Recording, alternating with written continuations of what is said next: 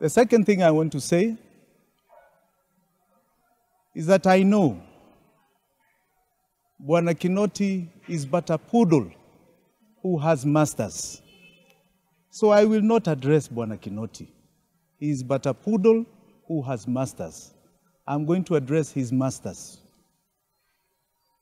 His masters sent him in 2017 to harass my family for three days, to purport that I want to overthrow the government of Kenya after an election that had been nullified by the High Court.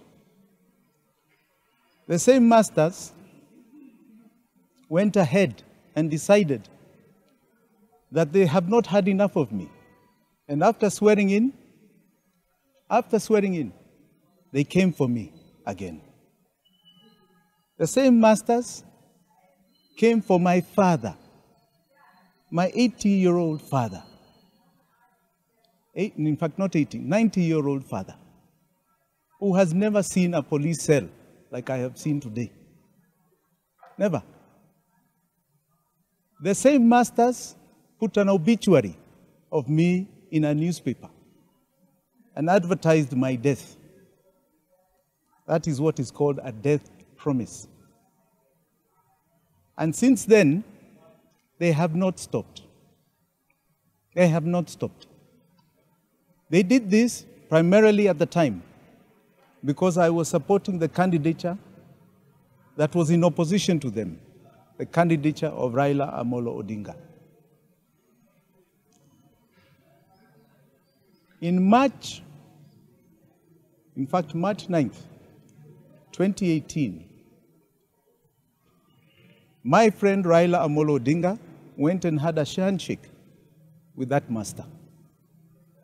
He went and had a handshake with that master. And when he had that handshake with that master, he went alone. I repeat, he went alone. He did not go with the people, the generals who were part of that fight in 2017. I was among them. In fact, we were together the day before. And the day before that, we were planning how to march to State House because he had been sworn in. How is he going to take his office? And in that meeting, I want to tell you, we were James Orengo, myself, and him. Orengo and I were, equal, were shocked on the 9th when we saw him on TV like everybody else. He went alone.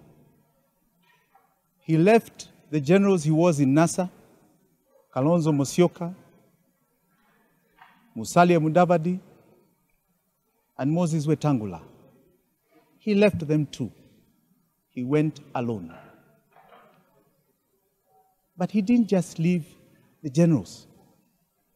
He left behind people who had sacrificed their lives. We have a count of 82 people who lost their lives during that period, between the election in August 8th to March 8th, 9th. 82 people that lost their lives, including baby Pendo. He left them behind. There is Miguna Miguna, whose only crime, alleged crime, is that he swore Raila Odinga in. He left him behind. There is Moses Kajwang, whose only crime was wearing a wig at the swearing in. He did not even participate. He had to fight his case until just recently, when the judges said he had no case to answer. He's fought it for three years. I want to go on. Up until today, his own sister, Ruth Odinga, is still in court fighting an incitement charge. He left her behind. He left her behind to eventually come and tell us that his sole purpose for seeking Azimio presidency is to follow in the footsteps, nyayo za that master, and perpetuate the policies of that master. That master promised Kenyans a better life. And within four years, we had a poverty level that he inherited with Kibaki's regime of 38%. That master and his partner, within four years, had brought that poverty rate to 53%. Those are not the policies to follow. That is a betrayal to all of us. And I say here today that my friend Raila Odinga is Judas, Judas Iscariot, who for 30 pieces of silver, 30 pieces of silver, betrayed, betrayed the truth and justice. It was exemplified by Jesus Christ. That is who he is. They say when somebody shows you who he is, he advertises himself, don't doubt him. Do not doubt him. And I say this with a very clear conscience. A very clear conscience. And I want to today brand that partnership between the master of the poodle, who is a partner in the Azimio, with my friend Raila Amolo Odinga. Because let me tell you, it is not personal. I personally here do not personally feel betrayed. I can handle my own problems. I can handle my issues. I don't need anybody's help. I don't. God is there. And God will always save the righteous. I want to categorically state here when I say betrayal, it is betrayal of many of those who cannot defend themselves, many of those who lost their lives for a cause that was better than what one is saying today is going to follow. I remember the slogans in 2017, just like you and I. Those slogans, I think you recall, the driver had a particular name, now the conductor had a particular name. To tell us today that that is what you're going to follow is a big betrayal to those who have espoused the ideals which you have said you follow. So you are Judas. Na hiyo azimio ni azimio ya usaliti, si ya umoja. Ni azimio ya usaliti. And we shall see you at the ballot, and you shall know not only the wrath of God, but that of the people of Kenya. Asanteni sana. As you are well aware, I, for the first time in my life, was a state guest. Uh, I was a state guest at Kamkunji police station last night. It's the first time in my life I have ever entered a police cell and spent a night. I want to say, for those who may doubt um, how I am today, let me assure you that they treated me very well at Kamkunji police station. All the officers were very good. I got a few hours sleep, save for the times that they kept checking up on me to find out whether I'm well and whether I'm not. They treated me very, very well. And I want to thank them for their cordial hospitality at Kamkunji police station. The second thing I want to say is that I know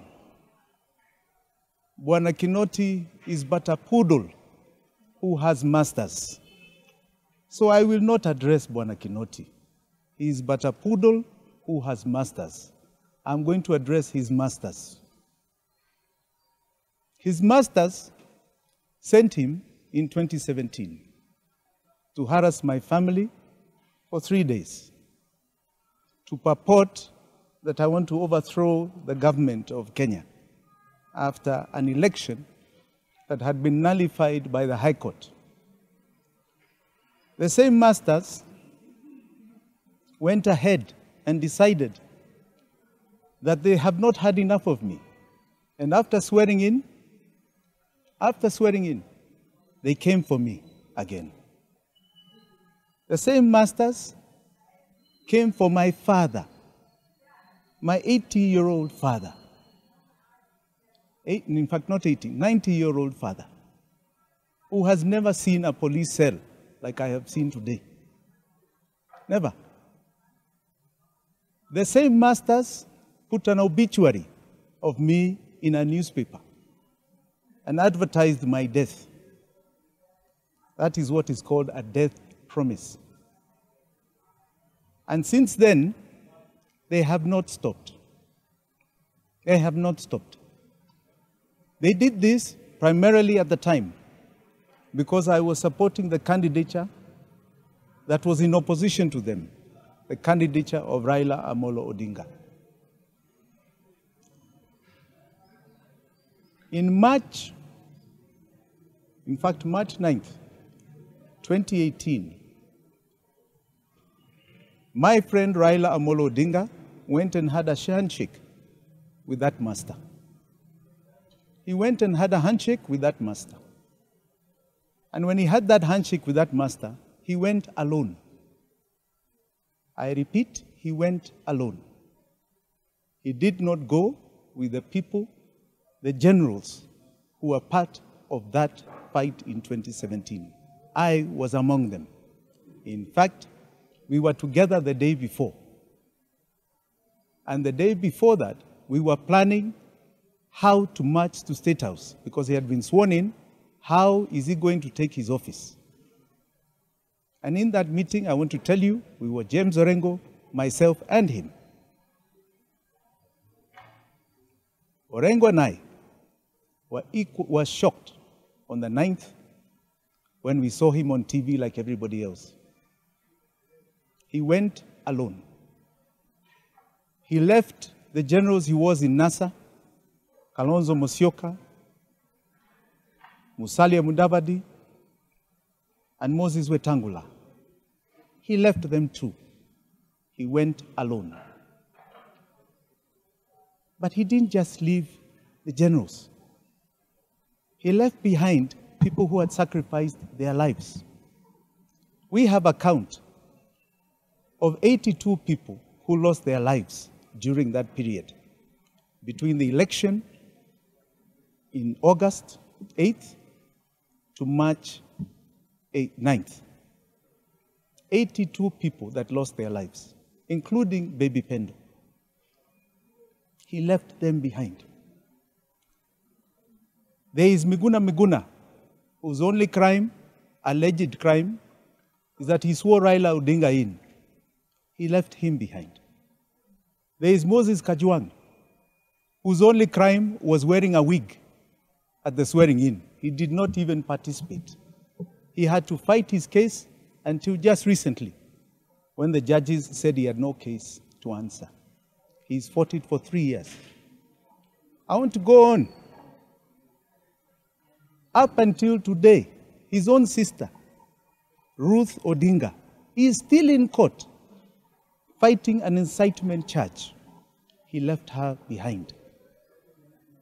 He left her behind to eventually come and tell us that his sole purpose for seeking Azimio presidency is to follow in the footsteps, nyayo za that master, and perpetuate the policies of that master. That master promised Kenyans a better life. And within four years, we had a poverty level that he inherited with Kibaki's regime of 38%. That master and his partner, within four years, had brought that poverty rate to 53%. Those are not the policies to follow. That is a betrayal to all of us. And I say here today that my friend Raila Odinga is Judas, Judas Iscariot, who for 30 pieces of silver, 30 pieces of silver, betrayed betrayed the truth and justice that was exemplified by Jesus Christ. That is who he is. They say when somebody shows you who he is, he advertises himself, don't doubt him. Do not doubt him. And I say this with a very clear conscience. A very clear conscience.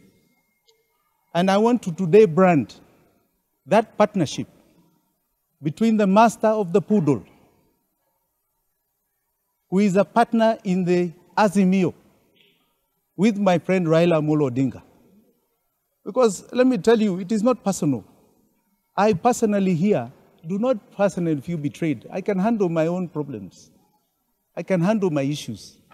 I don't need anybody's help. I don't. God is there, and God will always save the righteous. I want to categorically state here when I say betrayal, it is betrayal of many of those who cannot defend themselves, many of those who lost their lives for a cause that was better than what one is saying today is going to follow. I remember the slogans in 2017, just like you and I. Those slogans, I think you recall, the driver had a particular name, now the conductor had a particular name. To tell us today that that is what you're going to follow is a big betrayal to those who have espoused the ideals which you have said you follow. So you are Judas. Na hiyo azimio ni azimio ya usaliti, si ya umoja. Ni azimio ya usaliti. And we shall see you at the ballot, and you shall know not only the wrath of God, but that of the people of Kenya. Asanteni sana. Just from where you, you picked, you are running with uh, uh, ODM tickets. Now that you've said Raila is a Judas, will you still compete with him? Oh, yes, absolutely. Absolutely. Where did he consult ODM to go for a handshake? Where did he consult ODM to go to Azimio? Wapi? That's why I'm telling you what he did is personal. I espouse the ideals and the foundation of ODM. Na si chama ya mtu moja. We are going to categorically campaign in that party and have a delegates congress because that is the constitution of that party. I am in ODM. I can tell you that. And are you going to sue for the damages that you did to your services? I think, I think this time, you know, in the previous times I have avoided. I have avoided. But this time, I think I have no choice. Uh, we are going to do an assessment and sue because they got the court order and they themselves are just uh, pretending. So we, we, I think we are considering that. I'm going to consult with the various chairmen who had um, consolidated their lists, and uh, I'll brief you in the next few days. So far, about 10 million. We, um, those doors were very enforced, not only with steel, but they were also bulletproof. So uh, we'll see. Raila's slogan under